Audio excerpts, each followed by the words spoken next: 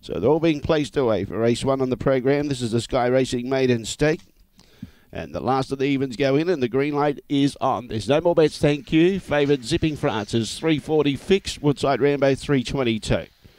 Away in racing, showing very good speed was Justice Mary. Burns him off. Out the back there was Donsberg. Had no speed at all, but Justice Mary's got a lead of two or three lengths. Starting to chase out of it is uh, Nigel Andor. Needs double. Check there was Woodside Rambo. Off the track trying to wind up Zipping Francis, but too far back. Frankie Baldwin's back there with it as well. In front, Justice Mary trying hard on the inside. Woodside Rambo, but Justice Mary beats Woodside Rambo. Nigel Andor. And then behind those, Frankie Baldwin making ground late. Zipping Francis couldn't get into the race at all.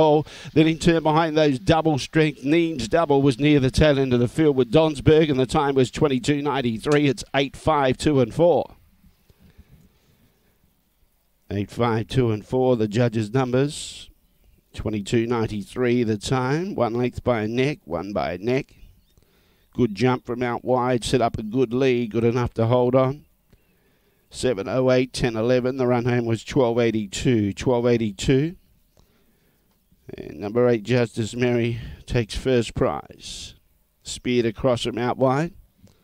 Black Bitch January 2016.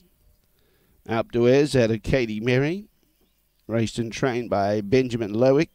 And uh, takes first prize here. 30